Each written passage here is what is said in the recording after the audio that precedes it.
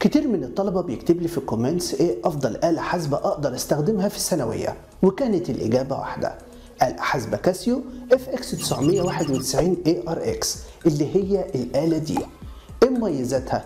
بتدعم اللغتين العربية والإنجليزية تقدر تتصفح في قوائمها ببساطة غير كده تقدر تحسب لك التفاضل تقدر تحسب التكامل تقدر تحسب حاجات كتير جدا لحد 540 وظيفة. طبعا إحنا عارفين شركة كاسيو العملاقة في الآلة الحاسبة وفي الساعات. عاملة مسابقة. المسابقة دي فيها جايزتين الآلة الحاسبة بتاعتنا وساعة G-Shock العملاقة. إيه هي شروط المسابقة؟ بسيطة جدا. هتروح على قناة Casio Education Middle East هتلاقي الرابط بتاعها في الوصف وفي أول تعليق هتشترك عندهم وتيجي تكتب لي تحت تم. في آخر شهر ثلاثة كاسيو هتختار واحد يكسب. آلة حاسبة والساعة. أتمنى حظ سعيد للجميع ويلا نروح لدرسنا.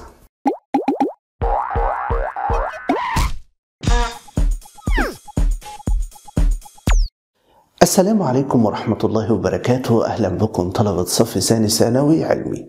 إزيكم يا باشمهندسين؟ عاملين إيه؟ إن شاء الله النهاردة هنبتدي مراجعة التطبيقية. المراجعة بتاعتنا هتكون على ثلاث حلقات. الحلقة الأولى هناخد فيها الاستاتيكا. نظامنا هيكون هنمسك الدرس. نقول كل قوانينه يعني نكتب ملخص لقوانينه وأهم أفكاره. والدرس اللي بعده وهكذا. ولو كان في درسين اتنين مرتبطين ببعض هنقول قوانين الدرسين ونقول تحل بده إزاي وتحل بده إزاي. وطبعا هنقول أهم الأفكار. الجزء الثاني هيكون هندسة فراغية زي ما عملنا في الاستاتيكا هنعمل في الهندسة الفراغية.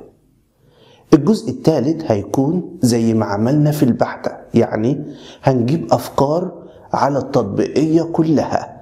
هنشوف 40 أو 50 فكرة أو أهم 40 أو 50 فكرة ونعملهم في فيديو واحد. إن شاء الله النهاردة هدفنا إن إحنا نراجع الاستاتيكا. كان أول درسين مرتبطين ببعض. أول درسين كانوا بيتكلموا عن إيه؟ الدرس الأول يا باشمهندسين كان بيتكلم عن لو معاك قوتين اتنين بيأثروا على جسم.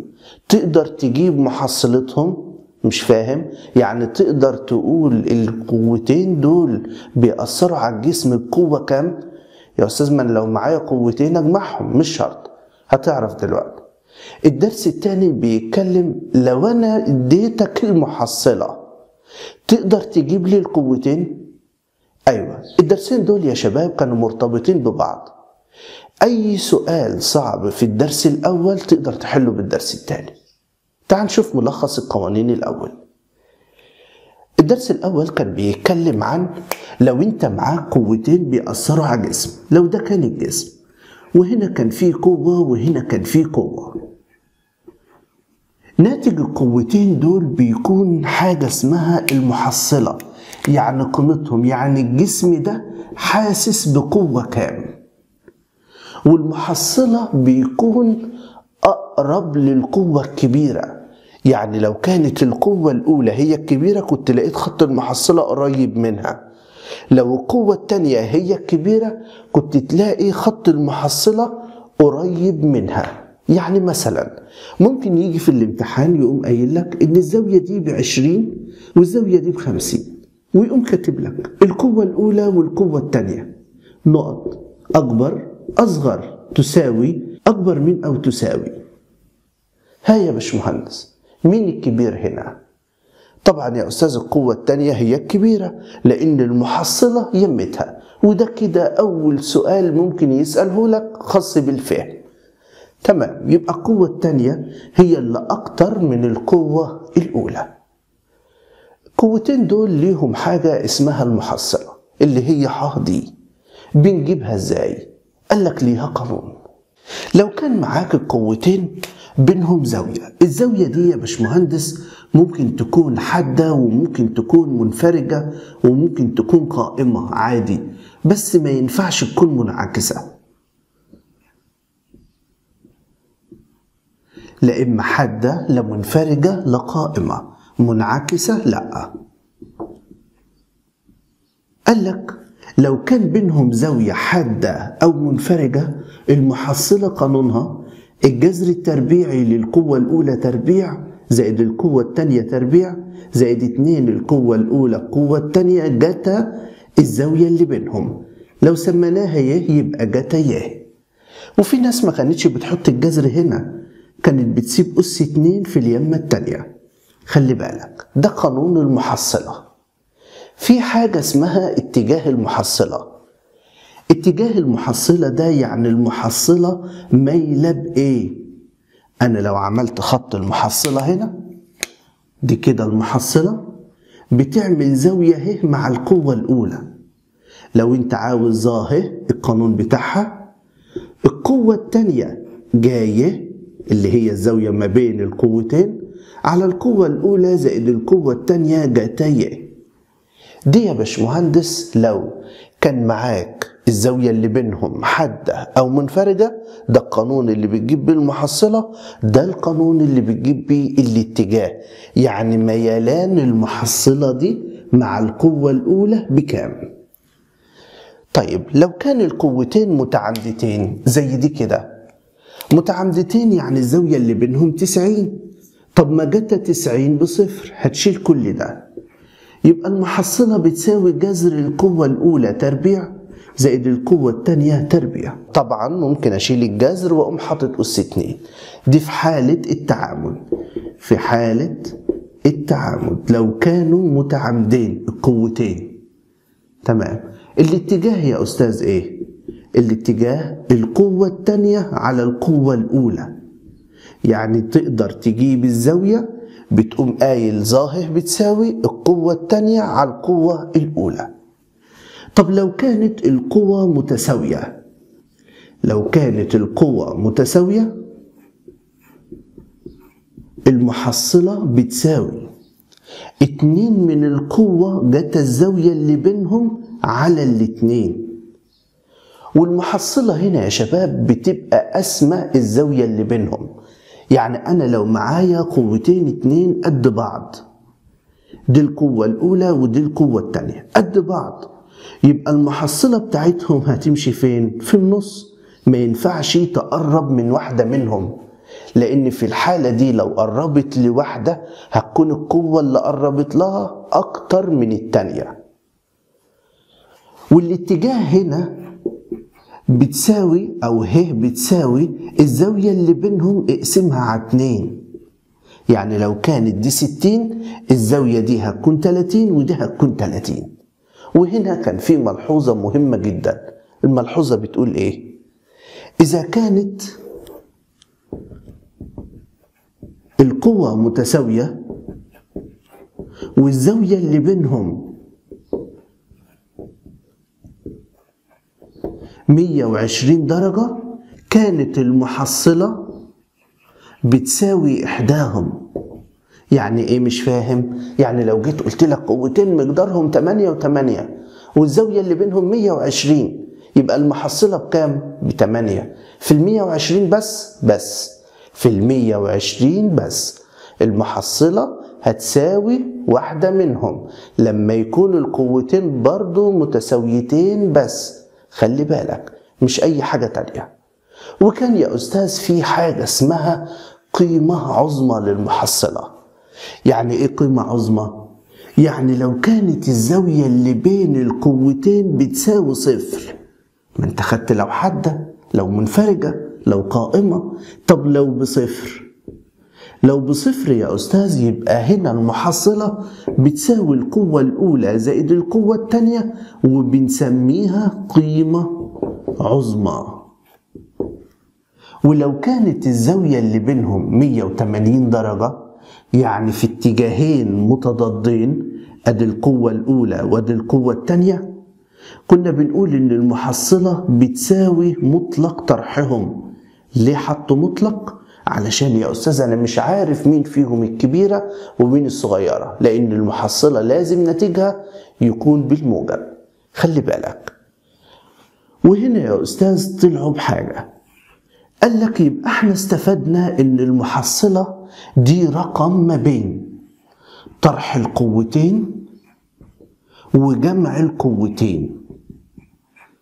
محصلة القوتين اللي بيكونوا موجودين بتساوي أو بتنتمي للفترة المغلقة ما بين طرحهم وجمعهم. ومن هنا السنة اللي فاتت سأل مسألة مهمة جدا. جه يا شباب قام كاتب الفترة دي في الامتحان وقام حاطط هنا صفر. وقام حاطط هنا 12 انت استفدت إيه؟ إمتى تطرح قوتين يدولك صفر؟ تاني. قال إن المحصلة بتنتمي للفترة من صفر لل 12 مغلقة. استفدت انت إيه إن الصفر مغلق؟ استفدت يا أستاذ؟ ده ناتج طرح قوتين بصفر يعني هم قد بعض. برافو عليك. يبقى اللي إحنا استفدناه إن القوتين متساويتين. وكان في الاختيارات هل القوة متساوية؟ هل القوة متعامدة؟ هل القوة متطابقة؟ وهكذا. طيب يا أستاذ دي كانت ملخص قوانين الدرس الأول. الدرس الثاني مرتبط بيه. تعال نشوف قوانين الدرس الثاني الأول وبعدين ناخد أمثلة عليهم الاتنين. الدرس الثاني يا شباب كان بيتكلم عن تحليل القوى. مش فاهم يا أستاذ؟ يعني هدف الدرس ده أنا هدي لك المحصلة. تقدر تجيب القوتين الاتنين كان بيجي يا شباب يديني قوتين بينهم زاوية ما أي زاوية. أدي القوة الأولى وأدي القوة الثانية. القوتين دول بيكونوا مجهولين. وجدا المحصلة. واداني زاوية ملها سمى دي ه اتنين وسمى دي ه واحد. وقال ان هنا تقدر تكتب القانون قاف واحد على جيب الزاوية التانية شوف الزاوية ده ه قاف واحد ده ه مع جيب الزاوية ده ه جا ه واحد. بتساوي. القوة التانية القوة التانية دي مع الزاوية ده ه القوة ده ه مع الزاوية دي. جا ه اتنين. بتساوي المحصلة على جا مجموع الزاويتين. وكان يا باشمهندسين الدرس ده فيه حالة خاصة. إيه هي الحالة الخاصة؟ كانت بتقول لو كان القوتين أو المركبتين أحيانا بيسموهم مركبة. لو كانوا المركبتين دول متعامدتين وانت عاوز تحلل القوة وكانت الزاوية دي سيتا تقدر تقول إن هنا بتساوي المحصلة جتا سيتا وهنا المحصلة جا سيتا. ده في حالة إن كان القوتين اللي هتحلل ليهم متعامدتان. تقدر تحل كده وتقدر تطبق القانون ده عادي مفيش أي مشاكل. ده لو طبقته هيدي لك ده مفيش أي مشكلة. طب يا أستاذ كان الجسم الموضوع على مستوى مائل كان ليه وزن؟ لو حبيت تحلل الوزن المستوى المائل بيكون مايل بزاوية ه. لو حللت الوزن ده هيكون هنا الوزن جتا ه هنا جتا وهنا الوزن جا ه. ده في حالة المستوى المائل. دي يا شباب كانت قوانين الدرس الثاني تعالى نكتب أمثلة ونحلها بالدرس الأول وتتحل بالدرس الثاني. السؤال ده يا شباب من الأسئلة اللي الناس بتقعد تضيع وقتها فيها بحلها بالدرس الأول وهي ممكن تتحل بالدرس الثاني ببساطة. تعال نشوف. قوتين 8 و16 ثقل جرام تأثران في نقطة مادية وكانت المحصلة عمودية على القوة الأولى فإن الزاوية بينهم يا أستاذ بص أنا معايا قوتين اتنين. أدي قاف واحد والقوة التانية المحصلة كانت عمودية على القوة الأولى. المحصلة لازم تكون ما بينهم. فطالما المحصلة لوحدها عاملة زاوية قايمة يبقى أنا هستبعد الزوايا الحادة. الزوايا الحادة دي غلط. كده دي المحصلة. حضرتك قلت لي القوة الأولى بتمانية والقوة التانية بتساوي 16 طيب أنت قلت إن الزاوية دي قائمة. طب ما خلاص تمانية على هنسمي الزاوية دي ه على جا ه بتساوي 16 على جا 90 ده بالدرس التاني محلتهاش بالدرس الأول. زي ما الناس هتقعد بقى تقول المحصلة عمودية على القوة الأولى يبقى ظاهر بتساوي وتكتب القانون وتعوض فيه موال. لا. اكتب القانون الثاني عوض في القانون الثاني اعمل وسطين في طرفين جا ه بتساوي 8 في جا 90 على 16 طلعت بنص. جا كام اللي بنص 30 درجة. الزاوية دي ب 30 بس هو عايز الزاوية بين القوتين. يبقى دي كلها كده 90 زائد 30 بتساوي 120 يبقى الاختيار ده هو الصحيح. خلي بالك الدرس الأول لو سؤاله غبي تقدر تحله بالدرس التاني عادي. أو بكل بساطة الدرس التاني يعمل لك كل اللي بيعمله الدرس الأول. قوتين متساويتين الزاوية بينهم ضايعة 2 وكانت المحصلة بتاعتهم بتساوي 8 قيمة كل قوة بكام؟ قلنا له يا أستاذ طالما القوة متساوية أنا ممكن أكتب لك القانون ح بتساوي 2 من القوة جتا ي على 2 جتا الزاوية اللي بينهم اقسمها على 2 8 بتساوي 2 القوة في جتا ضيعة 2 يعني 90 لما أقسمها على 2 45 جتا 45 بواحد على جذر 2 اعمل وسطين في طرفين 8 في جذر 2 على 2 تدي لك قيمة القوة. دي بأربعة يبقى القوة طلعت بأربعة جذر 2 المسألة التانية قوتين مقدارهم 2 قاف و5 قاف ومحصلتهم 3 قاف. آه. هنا يا باشمهندس لازم تركز لما تجيلك كلها مجاهيل كده. اعمل حاجة دايما الأول. اجمع قوتين مرة واطرحهم مرة. يعني ممكن تكون دي قيمة عظمى وممكن تكون دي قيمة صغرى القوتين يا أستاذ لما جمعناهم سبعة لما طرحناهم ثلاثة هل طرحهم قد دي؟ أيوة طب إمتى بنطرحهم؟ لما بيكون القوتين في اتجاهين متضادين يبقى الزاوية اللي بينهم كام؟ 180 درجة تعال نشوف المسألتين دول قوتين متساويتين مقدار كل منهم ستة ومحصلتهم ستة. إمتى المحصلة بتكون قد قوة لما يكون يا أستاذ الزاوية بينهم 120 درجة في حالة القوة المتساوية. لو المحصلة قد قوة منهم يبقى الزاوية اللي بينهم 120 قوتين المحصلة تنصف الزاوية بينهم. يعني معنى كده إن القوتين قد بعض.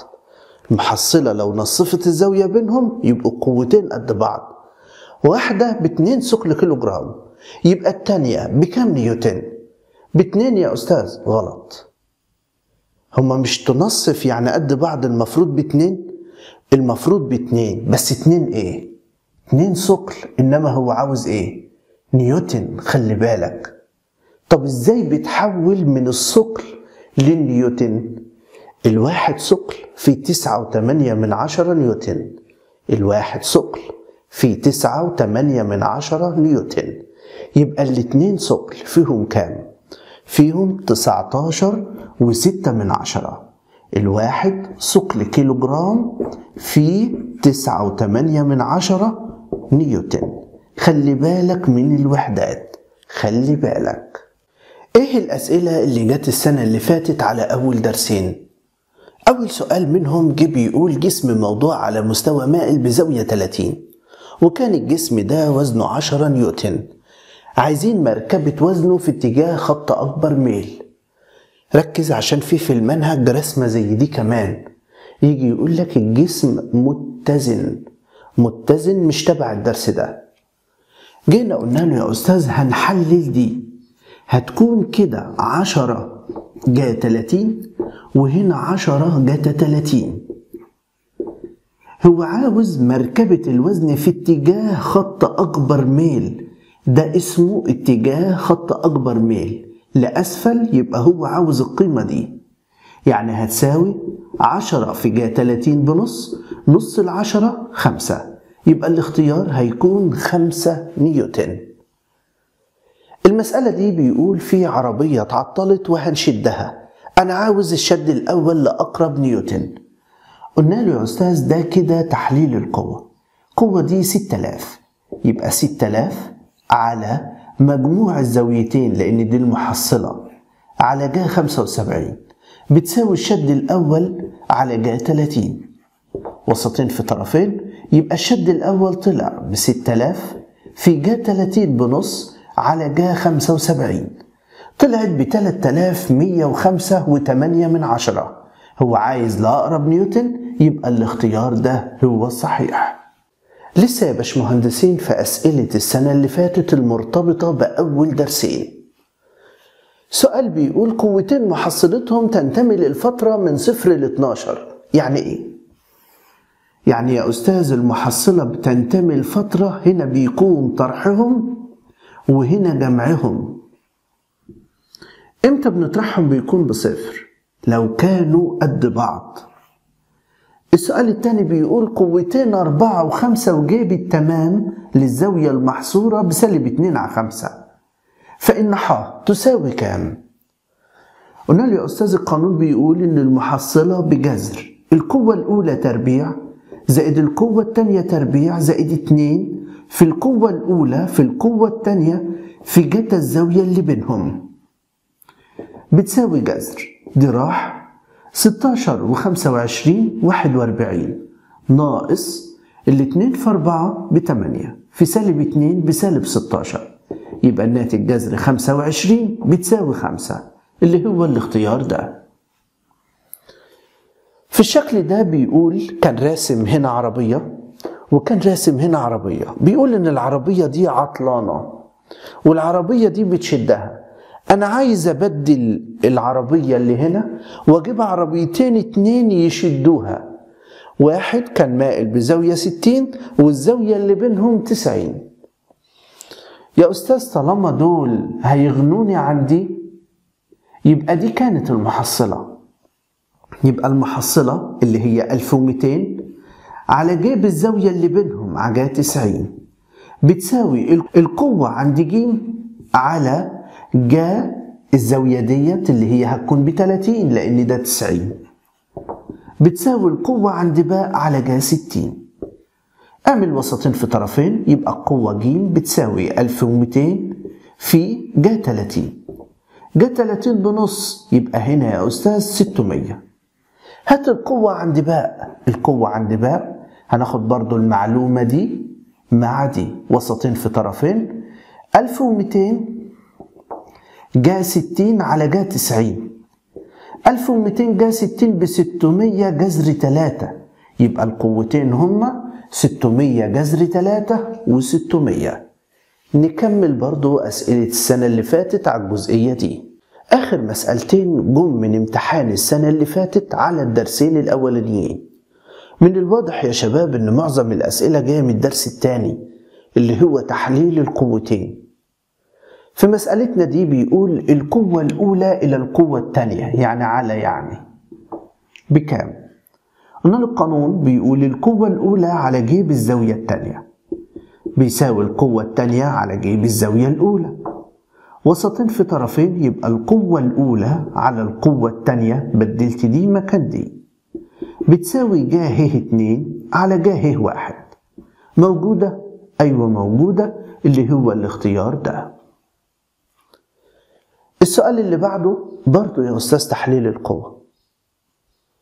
هنا 400 على جا 90 بتساوي الشد الثاني على جا 30 بتساوي الشد الأول على جا 60 هنعمل وسطين في طرفين هنا يبقى الشد الثاني طلع بيساوي 200 هناخد المعلومة برضو مع ديت نعمل وسطين في طرفين يبقى الشد الأول طلع ب 200 جذر 3 هو عاوز إيه؟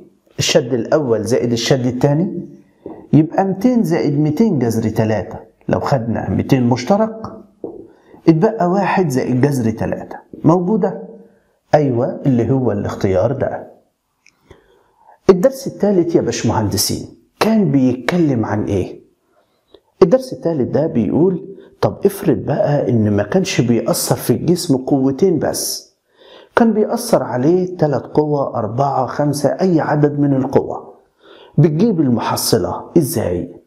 الدرس ده بيقول إن المحصلة المحصلة بتساوي الجذر التربيعي للسينات تربيع زائد الصادات تربيع ده لو أنت عاوز إيه؟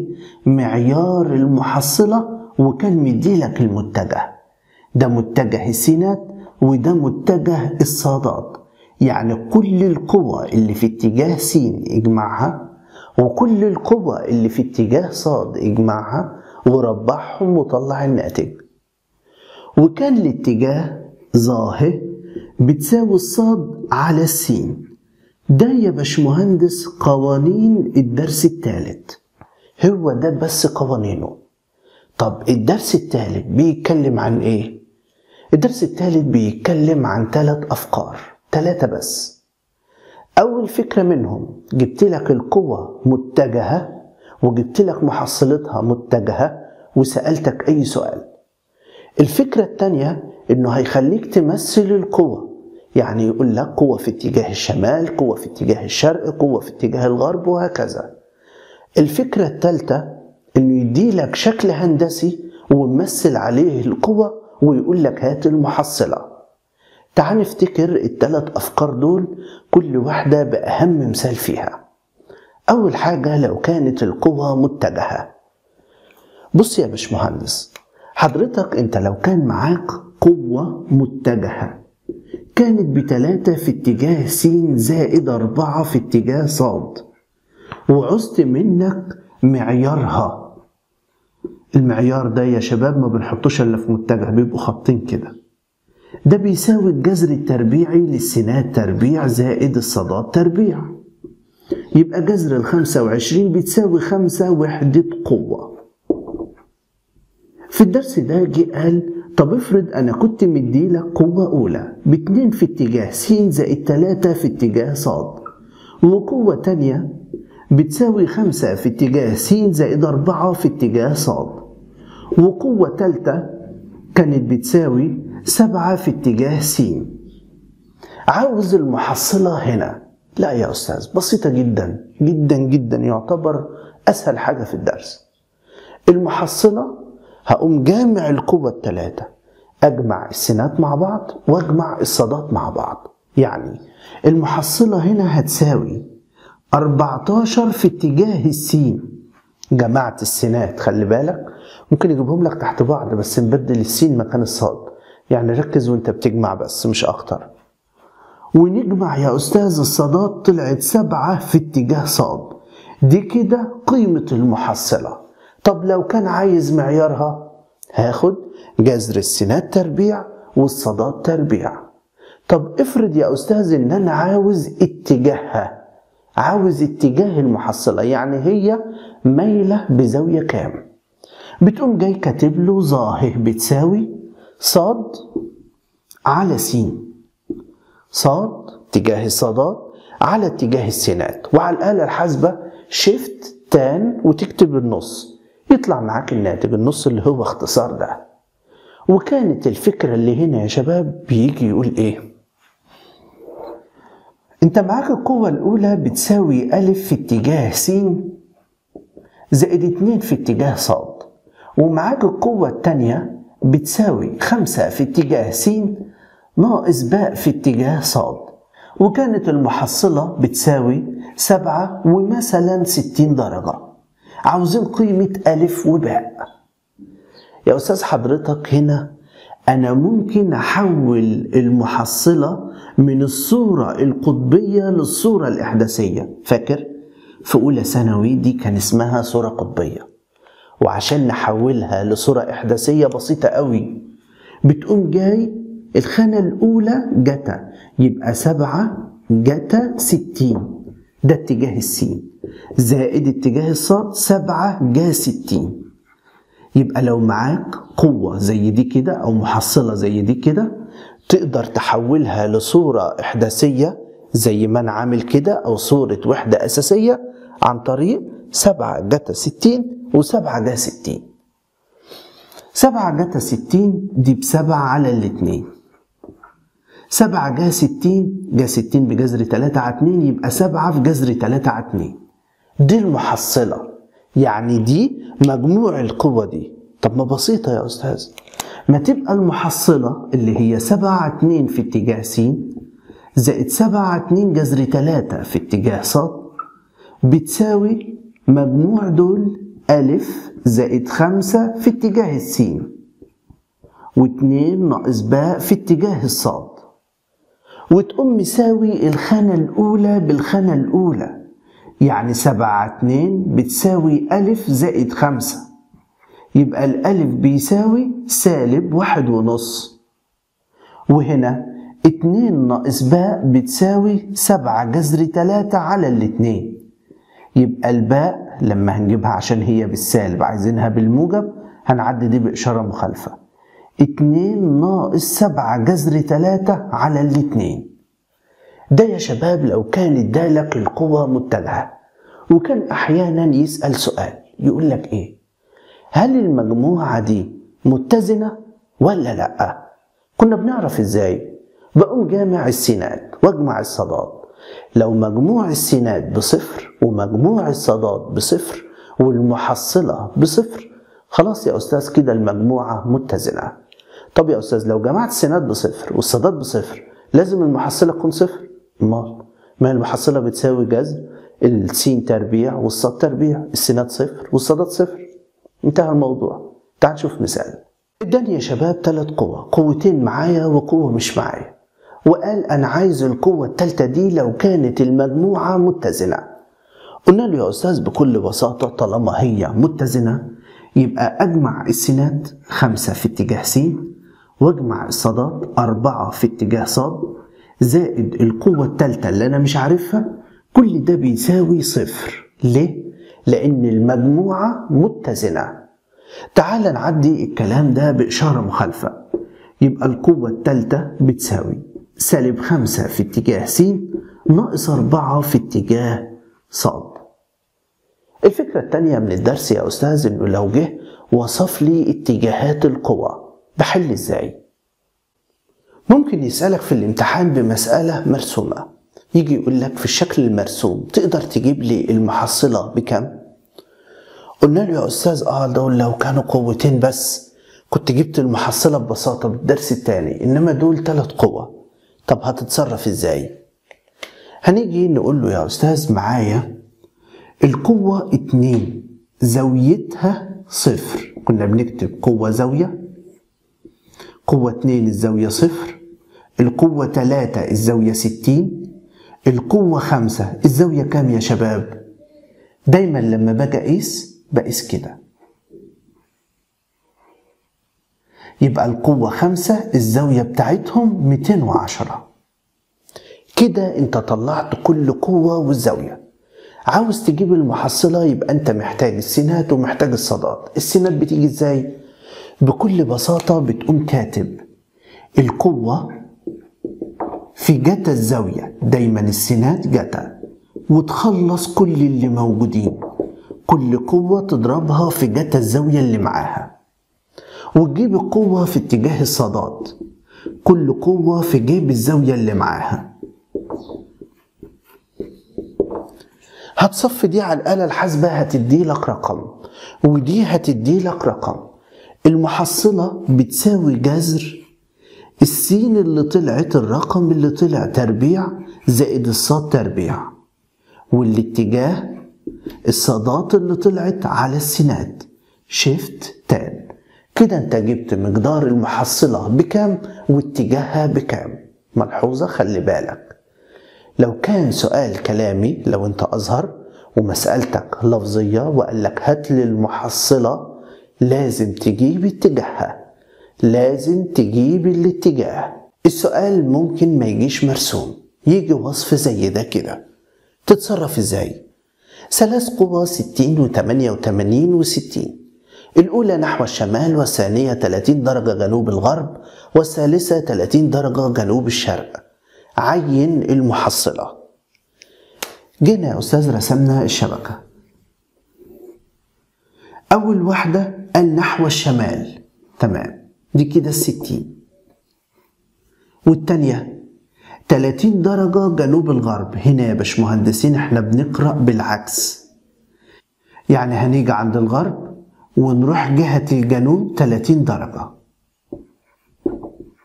وهنا القوة 88 والتالتة 30 درجة جنوب الشرق. هنيجي عند الشرق ونمشي 30 ونقوم حاطين القوة 60 هنا يا أستاذ إحنا عاوزين مقدار المحصلة. بيقول لي عين المحصلة. يعني تجيب مقدارها واتجاهها. مش مهندسين بتوع الأزهر. ركز في حاجة زي كده. سؤال زي ده كده جه بيقول ألف ب ج ده المستطيل فيه ألف ب بتمانية وب ج بستة تعال نرسم. شبكة. عايز أرسم المستطيل رسمت المستطيل. في ملحوظة يا شباب خلي بالك منها قبل ما تعمل أي حاجة. تعال شوف الاتجاهات ده اهي إيه الرمز اللي متكرر فيهم كلهم؟ ألف. يبقى ألف اللي هتتحط في نقطة الأصل. بعد كده تسمي بترتيب دوري واحد.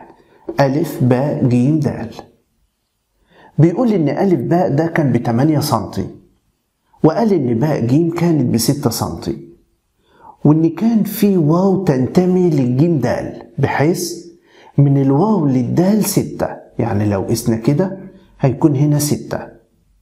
يبقى دي بكام؟ يبقى دي باتنين سنتي ودي بستة سنتي. تمام يا أستاذ. بعد كده لقيناه بيقول أثرت قوة ستة في ألف ب. قوة هنا ستة طبعا بنحطها في دايرة. قوة مقدارها عشرين في اتجاه جيم ألف جيم ألف بعشرين. خلي بالك من الاتجاه عشان مهم. ألف واو ألف واو. هنا كده كانت الواو. كان مقدارها بتساوي 13 جذر 2 تمام.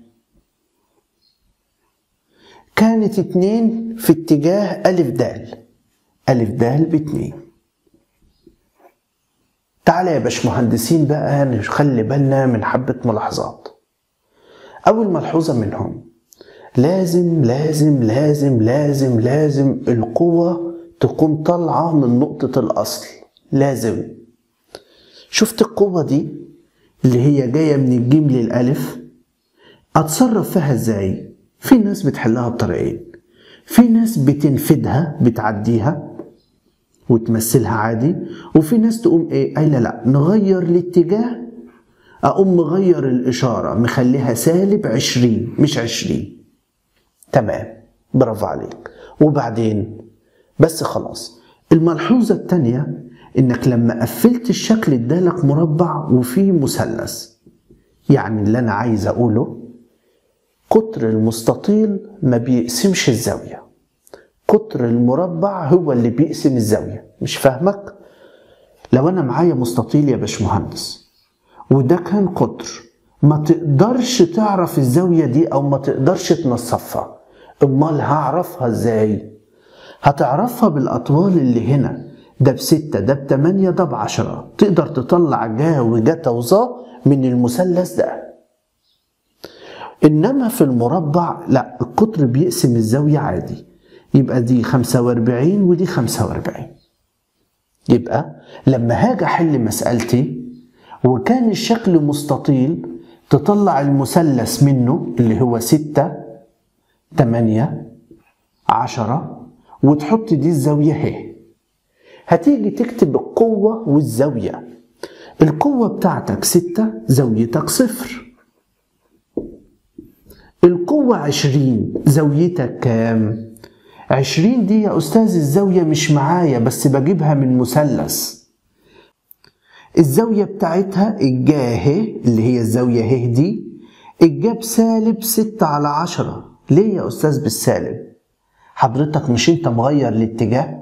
هنا السالب أهو. ماشي ما تحط السالب مع القوة. لا مفيش قوة بالسالب. هتحطها مع الجاه وهنا الجت أهي بسالب 8 على 10 بعد كده تمسك القوة 13 جذر 2 الزاوية 45 وتمسك القوة 2 الزاوية بتاعتك 90 يبقى الغرض من السؤال أو اللي أنا عايز أفهمه لك إن لازم القوة تكون نافذة لازم. لو عاوز تغير إشارتها مفيش أي مشاكل. لازم القوة تكون طالعة من نفس النقطة. بعد ما بتظبط الكلام المستطيل ما تقدرش تقول إن القطر بيقسم الزاوية بتعمل مثلث وتطلع منه. بتعمل قوتك وزاويتك وتقوم شغال بعد كده تجيب له السينات ستة جتا صفر زائد عشرين في سالب تمانية على عشرة. 13 جذر 2 في جتا 45 زائد 2 في جتا 90 والصادات نفس الكلام 6 جا صفر زائد 20 في سالب 6 على 10 زائد 13 جذر 2 في جا 45 زائد 2 في جا 90 وتقدر تجيب الاتجاه. ممكن السؤال يكون فيه مجاهيل زي المسألة دي كده. بيقول الزاوية ما بين كل قوتين 60 تقدر تجيب قاف وكاف حتى تكون المجموعة متزنة؟ قلنا له يا أستاذ نرسم لك الموضوع. أدي القوة الأولى كانت بخمسة. القوة اللي بعدها عاملة زاوية ستين. وكان مقدارها أربعة. القوة اللي بعدها عاملة زاوية ستين. يبقى هنا كده تلاتين وهنا تلاتين. وكان مقدارها قاف. اللي بعدها عاملة زاوية ستين. جت هنا وكان مقدارها تلاتة. اللي بعدها عاملة زاوية ستين كانت هنا كده ومقدارها كاف اللي بعدها عاملة زاوية ستين كانت هنا كده وكان مقدارها بسبعة. بيقول الكلام ده كله. تقدر تجيب لي قاف وكاف عشان تكون متزنة؟ هو يعني إيه متزنة؟ يعني السينات تساوي صفر والصادات تساوي صفر. تعال نشوف. هنطلع لك القوة والزاوية. القوة خمسة الزاوية صفر. القوة أربعة الزاوية ستين. القوة قاف الزاوية مية وعشرين. بنقيس كده يا شباب. بعد كده القوة تلاتة الزاوية مية وتمانين. القوة كاف الزاوية ميتين وأربعين. القوة سبعة الزاوية بتساوي تلتمية وتلاتين. هنجيب السينات. السينات هتيجي إزاي؟ اللي هي عبارة يا أستاذ عن القوة في جتا الزاوية. يبقى السين بيساوي صفر اللي هو صفر بيساوي خمسة جتا صفر زائد أربعة جتا ستين لأنه قال متزنة عشان كده سويناها بالصفر. زائد قاف جتا مية وعشرين زائد تلاتة جتا مية وتمانين زائد كاف جتا ميتين وأربعين زائد سبعة جتا تلتمية وتلاتين. نجيب الصادات نسويها بالصفر. طبعا أنت حسبت كل ده مع قاف وكاف. الصادات لما بتساوي صفر يبقى خمسة في جا صفر زائد أربعة في جا ستين زائد قاف في جا مية وعشرين زائد تلاتة في جا مية وتمانين زائد كاف في جا ميتين وأربعين زائد سبعة في جا تلتمية وتلاتين. برضو صفيت دي طلع فيها قاف وكاف. هتشتغلهم مع بعض بالحذف والتعويض تقدر تطلع قاف وكاف أنا هدفي دلوقتي إن أنا أفكرك بالأفكار كانت بتتكلم عن إيه. تعالى يا باشمهندس نشوف الأسئلة اللي جت عليهم من السنة اللي فاتت. في امتحان السنة اللي فاتت الدرس ده جاب جزئين اتنين. أول سؤال منهم بيقول إن الشكل ده مربع المحصلة بكام؟ قلنا له يا أستاذ طالما مربع الزاوية دي بخمسة وأربعين.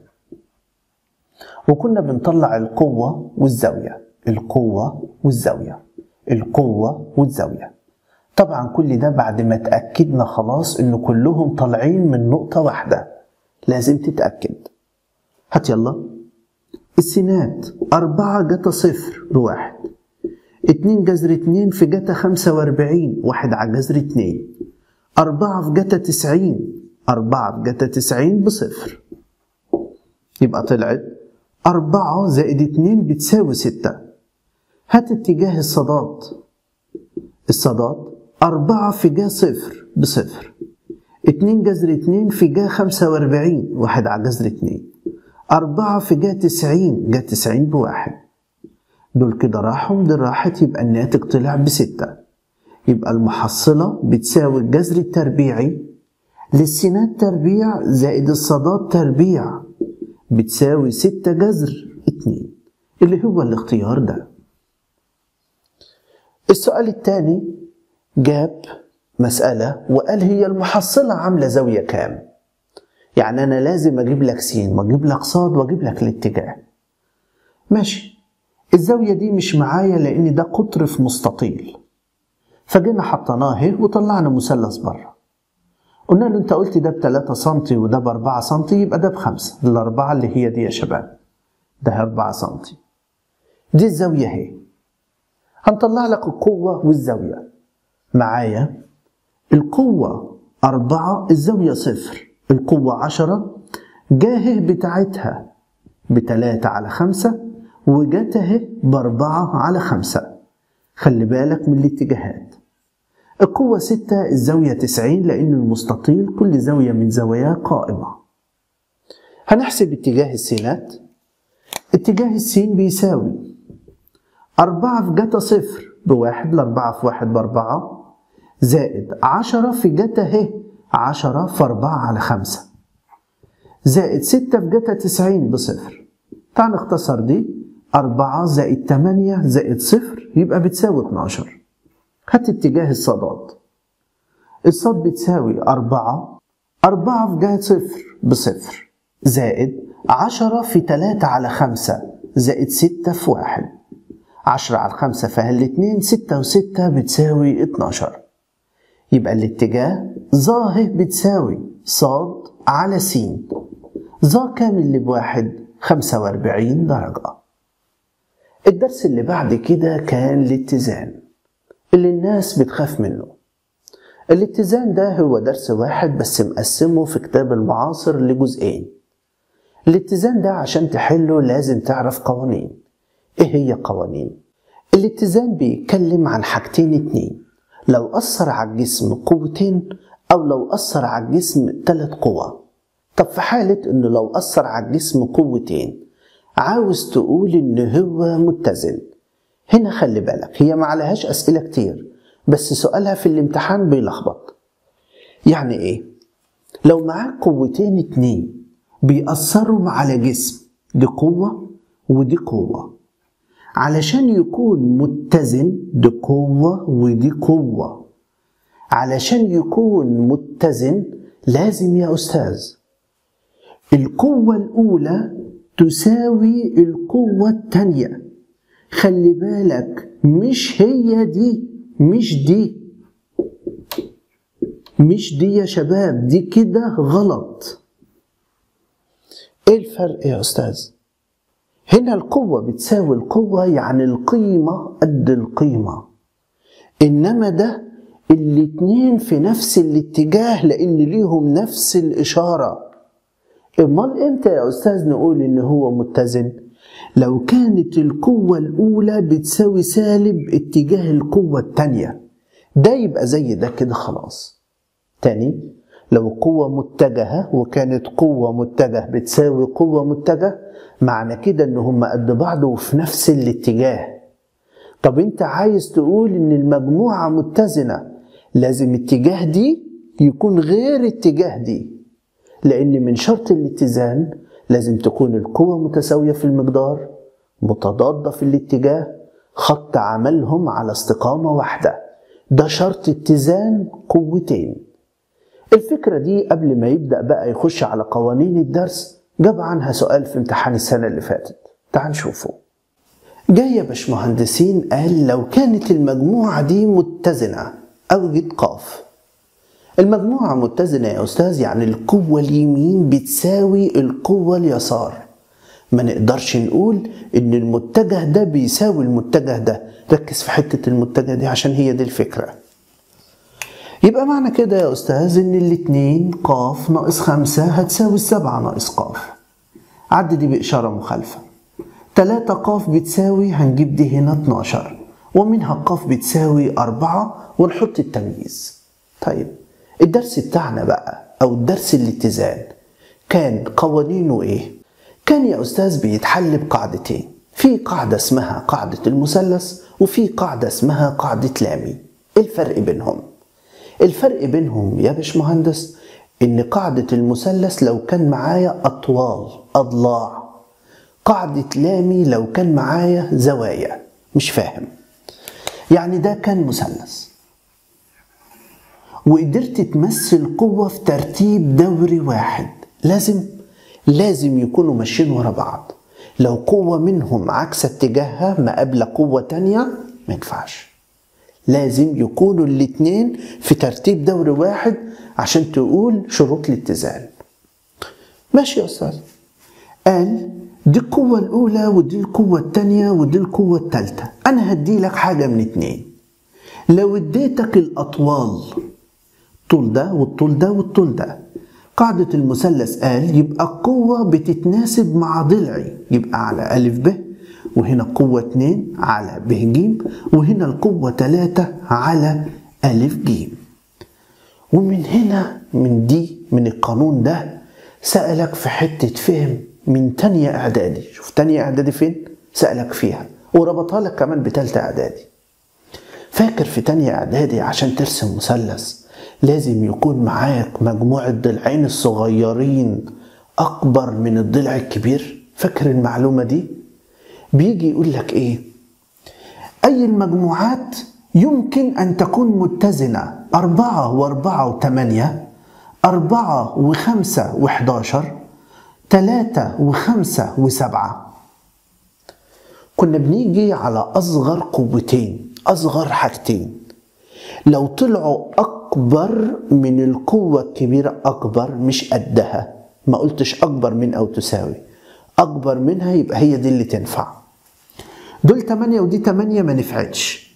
دول تسعة والقوة ده أكتر منهم ما نفعتش. دول تمانية ودي سبعة قوتين أكبر منها يبقى هي دي اللي ممكن ممكن تخلي لي المجموعة متزنة لو ادتني الزوايا. ده يا باشمهندسين كان سؤال كده يربطه لك بالسنين اللي فاتت. نكمل القمر. كان المعلومة اللي فاتت ارتباطها بتالتة إعدادي إنك عارف إن لو النسب أو القوة اللي فوق النسب بينها متساوية يبقى الأضلاع اللي تحت النسب بينها متساوية. دي كان الربط بتالتة إعدادي. تمام يا أستاذ؟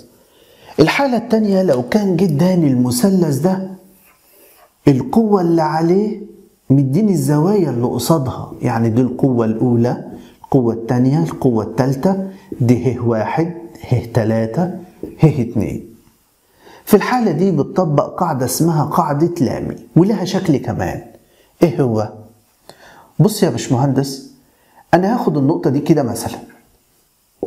خلي لي القوة دي كلها طالعة منها دي كده طالعة منها دي داخلة فيها انفدها دي يا أستاذ نازلة كده خد لها توازي وهاتها هنا. خدت دي توازي جبتها كده. أصبح معايا يا أستاذ دي القوة الأولى. دي القوة التانية دي القوة التالتة.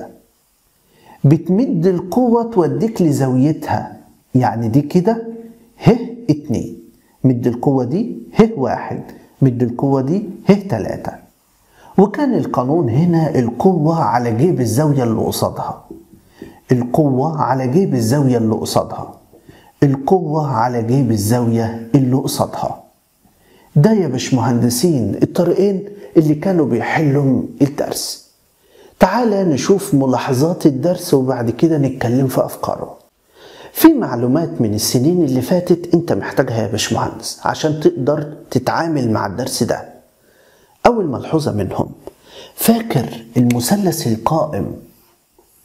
المتوسط الخارج من القائمة. طوله بيساوي نص طول الوتر ده نص طول الوتر. ولو كانت الزاوية دي 30 إن الضلع اللي قصادها نص طول الوتر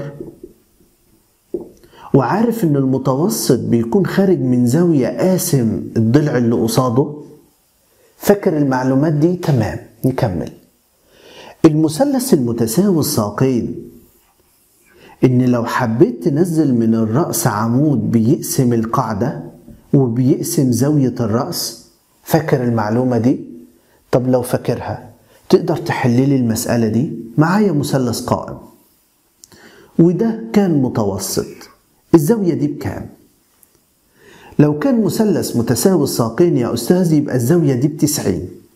ليه بتسعين؟ لأن المثلث المتساوي الساقين مستقيم اللي جاي من الرأس عمودي على القاعدة بيقسمها. برافو عليك. تمام. المثلث المتساوي الأضلاع الخط اللي جاي من الرأس برضه عمودي على القاعدة وبيقسم القاعدة. بالمثل هنا بالمثل هنا. وتقدر تقول إن كل زاوية ما بين دول كده دي بتساوي 120 عشان لو احتجتها في الدرس اللي فات. إذا مر خيط على بقرة ملساء فإن الشد في طرفي الخيط متساوي. المعلومة دي خلي بالك منها. لو معاك بقرة. وجينا عدينا عليها خيط. هتبص تلاقيه مثلا علق لك من هنا جسم وكان في هنا جسم مشدود وحاجات من دي. المهم أنا عايز الجزئية ده هي إذا مر خيط على بقرة ملساء يبقى الشد في طرفي الخيط متساوي. الشد ده هو الشد ده. وبيكونوا الاتنين بيقابلوا بعض. إذا مر خيط على بقرة ملساء الشد في طرفي الخيط متساوي. خلي بالك من دي. تاني حاجة لو أنت معاك خيط عديت فيه حلقة بيصنع مثلث متساوي الساقين. تاني لو معايا خيط ده خيط. قمت جايب حلقة ومعلقها فيه. لما جبت حلقة وعلقتها فيه يعني زي خاتم أو أي حاجة عديتها في سلسلة بتعمل لك مثلث متساوي الساقين لأنها بتتزن في النص بتقف في نصه. خلي بالك من دول. الدرس يا باشمهندس لو حبيت تذاكره قسمه الأفكار. أول فكرة الأجسام المتعلقة الجسم الموضوع على مستوى مائل الكرة القضيب عارف أنا إن موضوع القضيب ده خط أحمر عند ناس كتير بتوه فيه مع إنه هو سهل. المهم تعال نشوف الموضوع ده بيتكلم عن إيه. كل اللي عليا إن أنا هرسم لك الشكل أقول لك الشكل بتتعامل مع كذا ده مثلث القوة وانت هتحل. الأجسام المعلقة في أجسام معلقة في سقف وفي أجسام معلقة على حائط.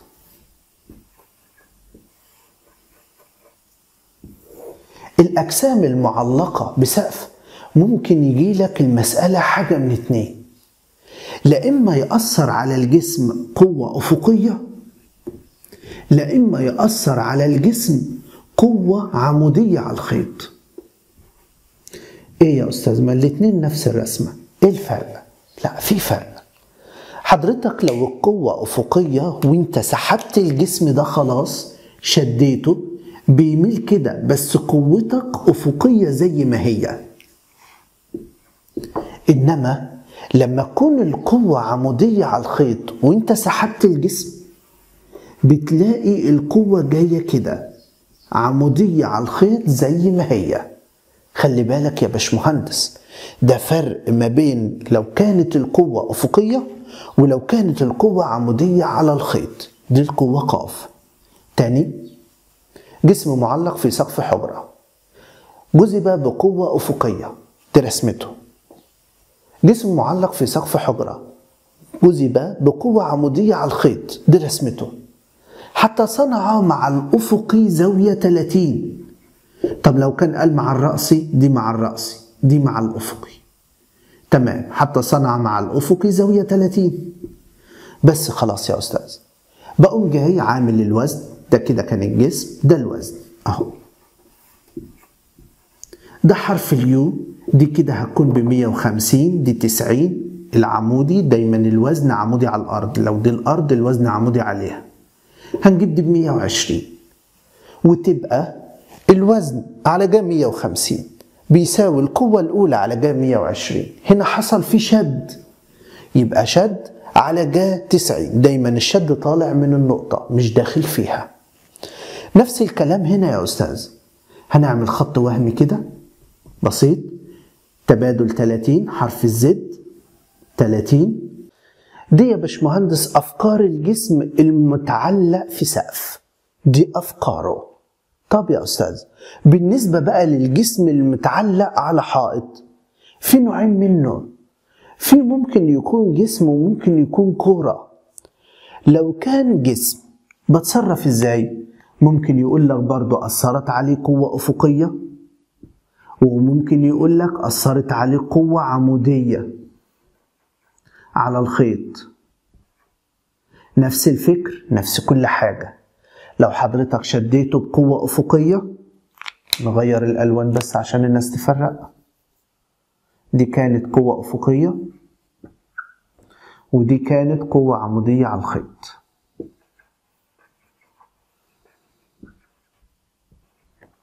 لو هنسحبه بقوة أفقية هيجي شكله كده.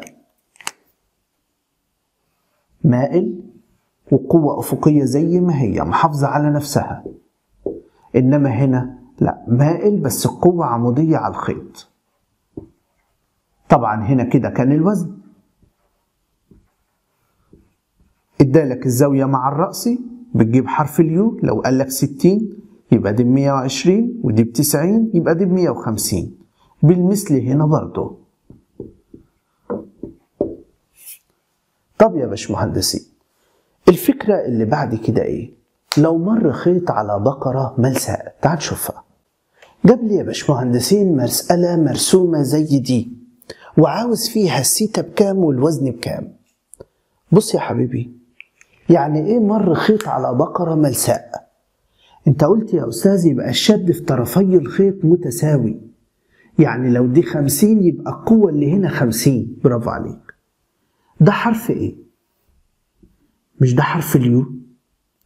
دي بسيتا يبقى دي 180 ناقص سيتا. دي ب 30 يبقى دي ب 150 بس خلاص. يبقى انت معاك 50 على جا 150 بتساوي 50 جذر 3 على جا 180 ناقص ه اللي هي بجا ه اللي هي جا سيتا يعني. هنعمل وسطين في طرفين. بقت جا سيتا بتساوي جذر 3 على الاتنين. جا كام اللي بجذر 3 على 2 60 درجة. لما انت عرفت دي ب 60 خلاص قدرت دي تجيب 120 قدرت تعرف ان دي ب 90 كمل قانونك. يبقى الوزن على جهة 90 وكده انت حسبت السؤال. طب يا أستاذ الفكرة اللي بعد كده لو كان جسم متعلق في خيط بس ادالك طول الخيط تتصرف إزاي؟ تعال نشوف مسألة.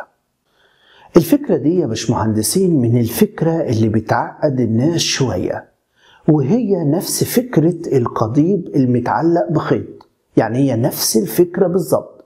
يعني لما هنروح للقضيب هنستدعي الفكرة دي. حاول تفهمها. في القضيب تقدر تفهمها كمان. بيقول يا باشمهندسين لو أنا كان معايا مثلا آه سقف حجرة وكان في خيط طوله 12 سنتي مثلا وعلقت فيه جسم وقمت جاي يا أستاذ جاذب الجسم ده بقوة أفقية مثلا. لما جذبناه بقوة أفقية يعني هيكون شكلها كده دي كده مقدار القوة. وقال حتى أصبحت المسافة بين الجسم وسقف الحجرة خمسة سنتي. يعني تناه يشد بالقوة دي ودي تميل طبعا كل ما تميل كل ما بتقرب للسقف. يعني شوف كده كده كده بتقرب من السقف. كانت القوة دي أفقية زي ما هي. بس أصبحت المسافة دي خمسة سنتي. نخلي ده 13 عشان الأطوال تمشي معانا. 13 دي 13 تمام يا أستاذ؟ هنا كان وزن الجسم ده الوزن.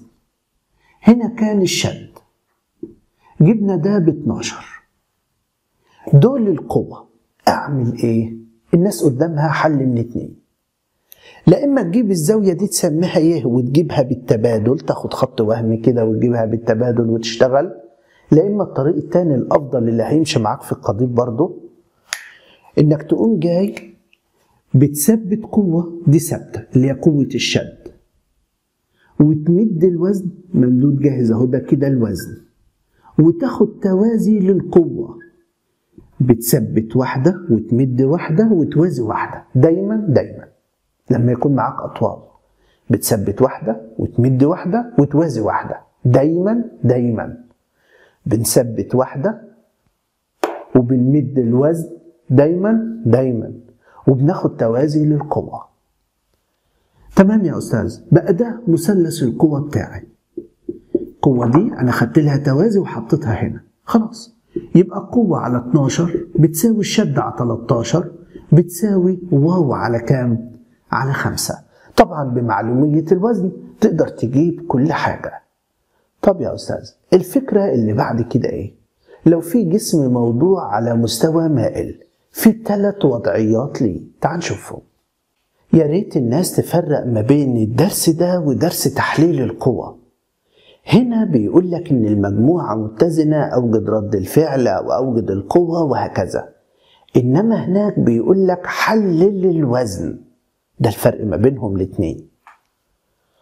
أول ما بتجيلك مسألة كده دايما دايما دايما دايما حط الوزن حط رد الفعل عمودي على المستوى. أول حاجة أنت بتعملها وزن. رد فعل عمودي على المستوى. وزن. رد فعل عمودي على المستوى. دي زاوية ميل المستوى. دول حاجات ثابتة. إيه بقى اللي بيفرق الرسمة الأولى عن التانية عن التالتة؟ لفظ يجي يقول لك قوة في اتجاه خط أكبر ميل. يعني إيه في اتجاه خط أكبر ميل؟ يعني القوة دي كده. قوة أفقية. قوة أفقية. يعني القوة دي ماشية كده. قوة تميل على خط أكبر ميل.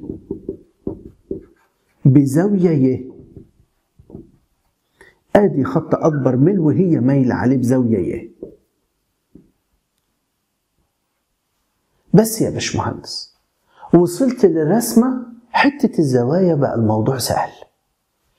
اللي هنا دي دايما في الثلاث رسومات دايما 180 ناقص زاوية ميل المستوى. اللي هي الزاوية دي. دايما دايما دايما دايما. القوتين دول لقيناهم متعامدين نقدر نجيب الزاوية دي من مجموع الزوايا حوالين نقطة يعني دي هتبقى 90 زائد ه. أو واحد خط خط أفقي كده. قال دي ب 90 دي ه بالتناظر يبقى دي 90 زائد ه. هنا 90 زائد ه. لأن دي ه دي ه. ودي كانت 90 يبقى 90 زائد ه. طب هنا؟ لا. ده كانت قائمة. خدنا منها ي يبقى هنا 90 ناقص ي هنا كان فيه ه وهنا 90 يبقى كل دي 90 زائد ه زائد ي. دول يا شباب التلات أشكال للجسم الموضوع على مستوى مائل. الناس مش فاهمة مثال بسرعة.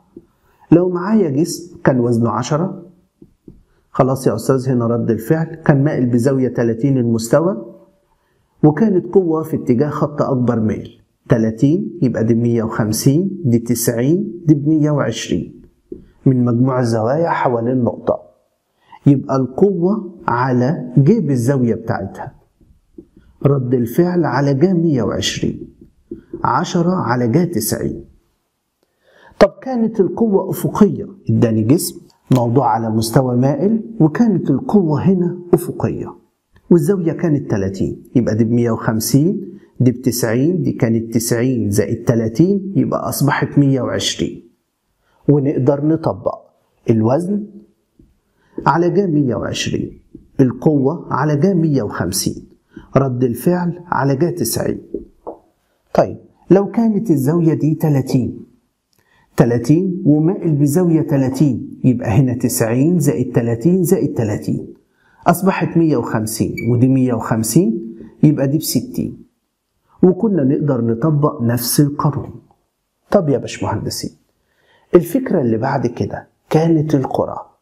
تعال نشوف القرى كانت أفكارها إيه ورسوماتها شكلها إزاي.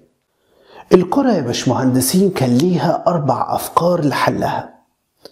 أول فكرة لو كانت هتتعلق بخيط أو معلقة بخيط. تاني فكرة لو مسنودة على قضيبين متوازيين تالت فكرة لو حطيناها على مستوى مائل وربطناها في المستوى تالت فكرة لو انحصرت ما بين قاضبين واحد مائل وواحد رأسي. هم دول الأفكار بتاعتها ملهاش تاني. طب يا أستاذ الحالة الأولى.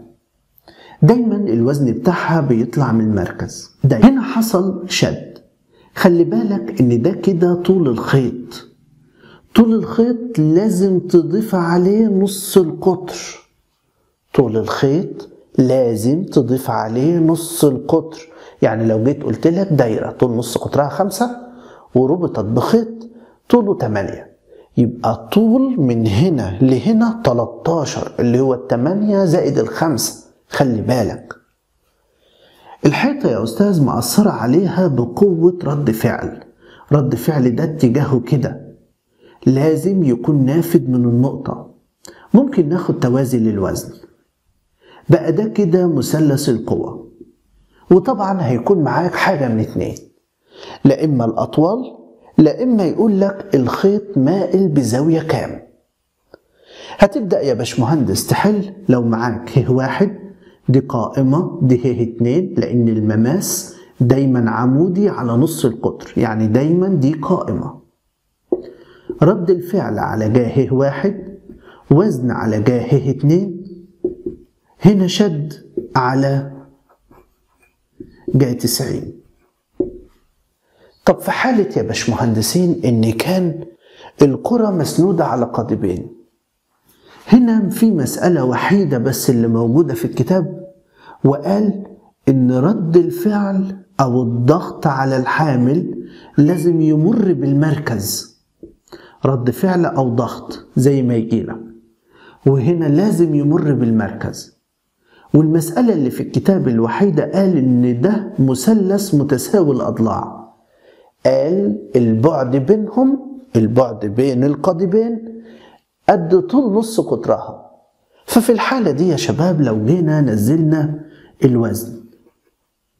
ده مثلث متساوي الأضلاع. خط عمودي يبقى بيعمل إيه في الزاوية؟ يبقى بيقسم الزاوية. أصبحت دي 30 ودي كام؟ 30 يعني دي 60 بالتقابل بالرأس. تمام. تعال بقى لخطوط القوة نفسها. شفت القوة دي؟ مع القوة دي ده كان خط مستقيم. خدنا منه 30 يبقى دي ب 150 ودي زيها 150 خطوط القوة تجيب الزوايا اللي ما بينهم مش ما بين أي حاجة تانية. خلاص. كده انت معاك الوزن على جا 60 رد فعل 2 على جا 150 رد فعل 1 على جا 150 طب في حالة إنها كانت مربوطة على مستوى مائل بتيجي من هنا تنزل الوزن عمودي على الأرض. تعالى يا باشمهندس بقى طلع لي كل حاجة. الزاوية دي هتكون قد دي بالتبادل. الزاوية دي قائمة. هنا ده التماس رد الفعل بيجي من المماس لازم يمر بالمركز فبالتالي يا أستاذ لازم ننفذه بقى دي قوة رد الفعل بس أساسها جاي منين؟ جاي من المماس اللي هي قائمة طبعا يا باشمهندسين إحنا عارفين إن دي لو كانت ه دي 90 دي 90 ناقص ه دي 90 ناقص ه يبقى الزاوية دي ه كده أنت قدرت تجيب الزاوية دي بكام؟ الزاوية دي كده معاك ه مش تبقى دي 180 ناقص ه ودي كانت قائمة. يبقى دي 90 زائد ه دول ثوابت. يعني هنا الوزن هنا 90 زائد ه هنا 180 ناقص ه القوة بتاعتي فين؟ القوة بتاعتك. هنا قوة شد. هنا قوة وزن. هنا قوة الضغط أو رد الفعل. طب في حالة يا أستاذ إن كان معايا قضيب مائل وواحد تاني رأسي. القضيب المائل بيديلك زاوية ميله. هنا حصل ضغط لأن ده مماس لازم يمر بالمركز. هنا مماس لازم يمر بالمركز. هنا الوزن يا أستاذ لازم يكون عمودي على الأرض. دايما. الزاوية دي ه اتفقنا من شوية إن ده هتكون 90 دي 90 ناقص ه دي 90 ناقص ه دي ه. ده مماس يبقى دايما عمودي. ده مماس يبقى دايما عمودي. يعني أصبحت الزاوية دي كده قائمة. هنشيل الزيادات دي عشان ما نتوهش فيها. أنا عارف إن الزاوية ما بين الضغط اللي هنا والوزن 90 بس الزاوية دي كده اهي يبقى دي 180 ناقص ه أو هي ثابتة. ودي كده 90 زائد ه ودي كانت 90 بس خلاص معاك الوزن على جيب الزاوية اللي قصاده. الضغط الأول على جيب الزاوية اللي قصاده. الضغط الثاني على جيب الزاوية اللي قصاده. آخر حاجة كانت القضيب. القضيب ده يا شباب مقسوم لجزئين. قضيب متعلق بخيط وقضيب مربوط بمفصلة. تعال نشوف الاتنين وإيه الفرق اللي بينهم. الناس اللي عايزة أمثلة كتير على الفكرة اللي فاتت دي أو الأفكار اللي قبلها أو القضيب ده يا باشمهندس هيكون في جزء المراجعة الجزء اللي هو أشهر وأهم التمارين. ده هيكون فيه التمارين ما تقلقش. أنا دلوقتي هدفي إن أفكرك الدرس كان بيتكلم عن إيه؟ إيه قوانينه بتتصرف إزاي في المسألة. ده هدفي. إنما كتدريب وحل أمثلة ده هيكون في الجزء الثالث إن شاء الله. القضيب كان فيه فكرتين. الفكرة الأولى ده لو كان مربوط بخيوط. الفكرة الثانية لو مربوط بمفصلة. لو مربوط بخيط بتلاقي شكل القضيب كده. لو مربوط بمفصلة في حالات ليه يا أستاذ؟ هل القضيب ده اتزن أفقي؟ ولا اتزن وهو عامل زاوية حادة؟ ولا اتزن وهو عامل زاوية منفرجة؟ طب في الحالة الأولى لو مربوط بخيط شكله إيه؟ بيجي يديلك طول القضيب ويقول لك أنا ربطته بخيطين واحد طوله 6 سم مثلا وواحد طوله 8 سم وكان القضيب طوله 10 لو كان القضيب منتظم بتيجي هنا الوزن بتاعه بيأثر في نصه ودايما دايما دايما يا شباب لازم لما تمد الوزن يجي عند نقطة التقاطع للشدود لازم القوة كلها تتقابل في نقطة. لازم القوة كلها تتقابل في نقطة. وهنا المسألة دي ما بتتحلش إلا بمثلث القوة. فاكر؟ بنمد واحد ونثبت واحد ونوازي واحد. بنمد واحد ونثبت واحد ونوازي واحد. قبل كل الليلة دي لازم تثبت إن المثلث قائم. ستة تمانية من فيثاغورس دي عشرة خلاص يبقى قائم. تاني كنا بنمسك الضلعين الصغيرين نربعهم ونجمعهم. لو طلع قد الكبير تربيع يبقى المثلث ده قائم. ده اسمه إيه؟ متوسط. يبقى طوله بيساوي إيه؟ نص طول الوتر. يبقى أنت قدرت تجيب الطول ده بكام؟ ده كان متوسط خارج من رأس قائمة طوله نص الوتر. خلي بالك. بعد كده يا أستاذ بناخد توازي للشد ده. بناخد توازي للشد ده. ده لو شد اتنين أهو. وطبعا الطول ده أهو نص ده من أولى إعدادي فاكر؟ الخط المرسوم بين منتصفين طوله نص طول الضلع الثالث يبقى معنى كده يا أستاذ إن ده طوله نص ده. يعني ده هو طوله هيبقى بأربعة. وطبعا لو بينصف وبيوازي يبقى بينصف. يعني بيوازي أهو. وقسم الضلع ده يبقى لازم يقسم ده. يبقى ده اتقسم يعني الطول ده هيكون بتلاتة. ما عادش عندك أي حجة. ده مثلث القوة بتاعك. دايما بيطلع هنا دايما بيطلع هنا.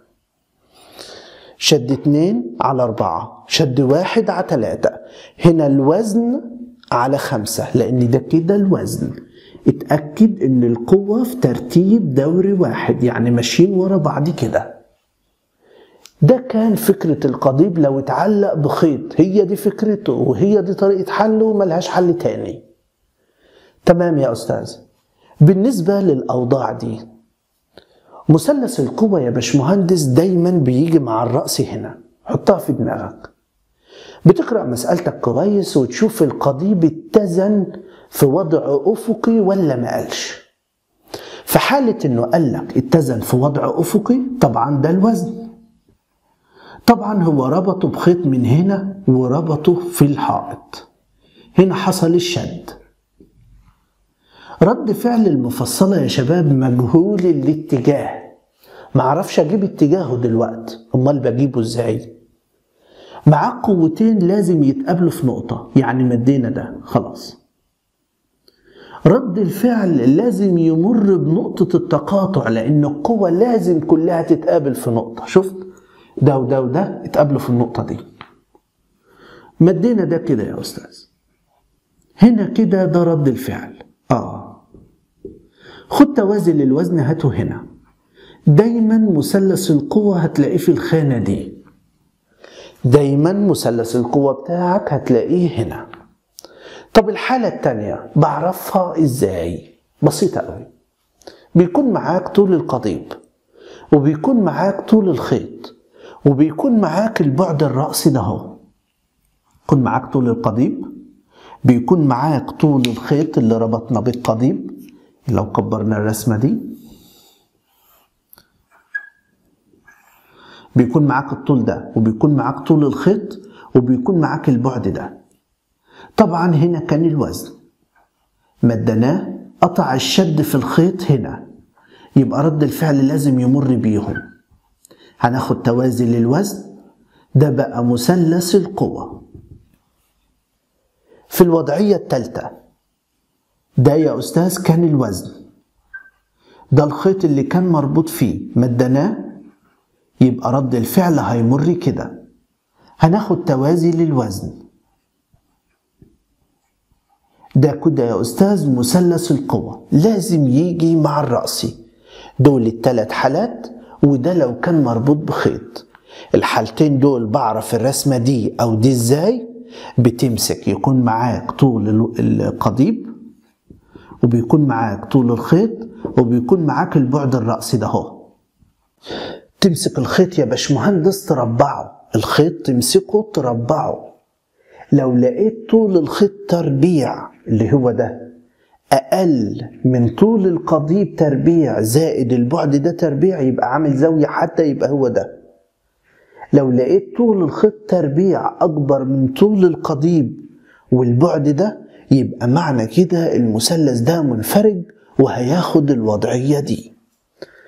الناس عايزة تفرق ما بين الأسئلة دي. تعال نشوف أمثلة على القضيب. السؤال ده بيقول في قضيب مثبت في مفصل كان منتظم طوله 80 وزنه 24 ربطناه بخيط من طرفه. كان الخيط ده طوله 80 جذر 3 وثبتناه في نقطة أعلى ألف. ألف دي كانت المفصلة بتبعد 80 تقدر تقول لي في وضع الاتزان الشد بكام؟ نقول يا أستاذ ده كان القضيب. عايز أشوف وضعيته. بقوم ماسك طول الخيط ومربعه. 80 جذر 3 أس 2 طلع أكتر من 80 أس 2 زائد 80 أس 2 ليه؟ لأن دول يعتبروا 3 في 80 أس 2 إنما دول 2 في 80 أس 2 يبقى المثلث منفرج. أو القضيب نازل لتحت كده. ده كان الطول. 80 جذر 2 ده كان 80 ده 80 يبقى مثلث متساوي الساقين. تعال نحط القوة. هنا كان في قوة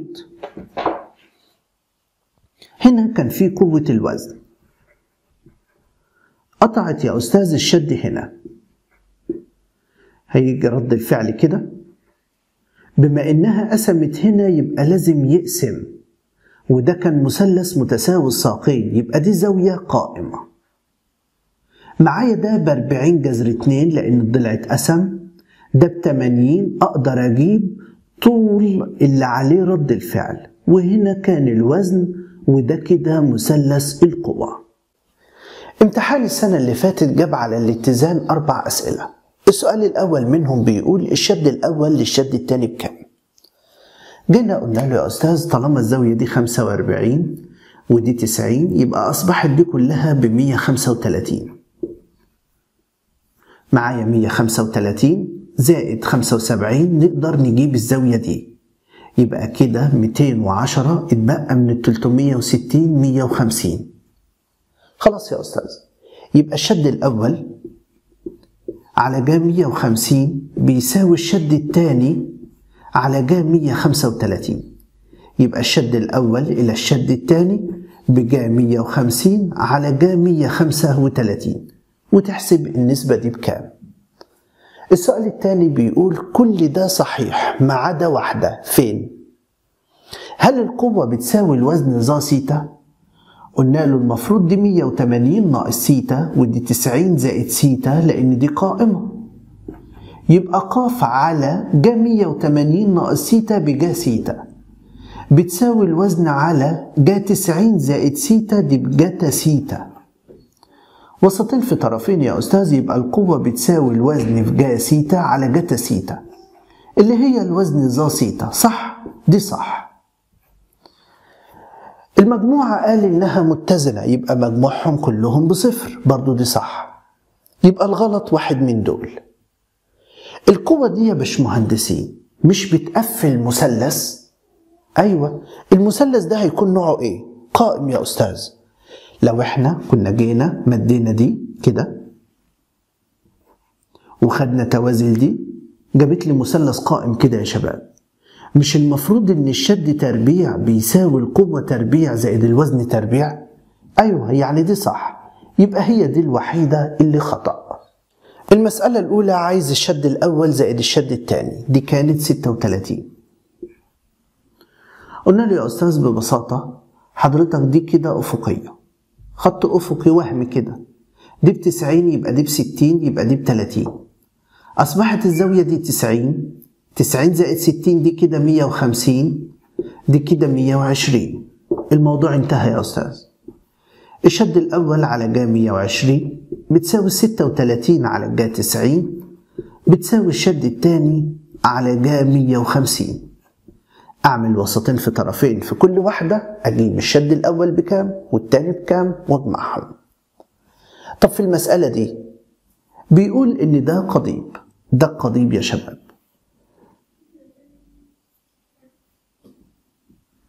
رد الفعل بتاع المفصلة دي كده. تقدر تقول لي قيمة رد الفعل ده بكام؟ قلت له دي القوة أنت مديهاني مرسومة يعني دي قاف. ده الوزن اللي هو عشرين. ده كان أفقي يعني دي قائمة. ده مثلث القوة يا أستاذ.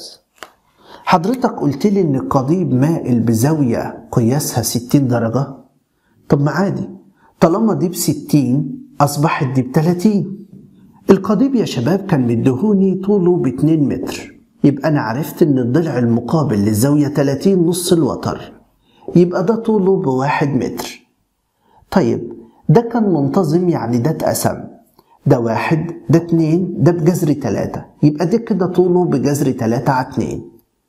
يبقى أنا أقدر يا أستاذ أقول لك إن طول الضلع ده أجيبه من فيثاغورس. ده كده نقدر نجيبه من فيثاغورس لأن المثلث قائم. يبقى طول الضلع ألف د مثلا بيساوي الجذر التربيعي لواحد زائد تلاتة أربعة اللي هو جذر سبعة على الاتنين. ده طوله طلع بجذر سبعة على اتنين. يبقى رد الفعل على جذر سبعة على الاتنين وهنا قاف على جذر تلاتة على الاتنين وهنا عشرين على الواحد. وسطين في طرفين أقدر أجيب رد الفعل وأقدر أجيب القوة. الناس اللي عايزة أمثلة ده هيكون في حلقة المراجعة إن شاء الله. بإذن الله اللي هي هتنزل بكرة اللي هي حلقة الأفكار. أتمنى أن أكون قدرت أفيدك بأي حاجة والسلام عليكم ورحمة الله وبركاته.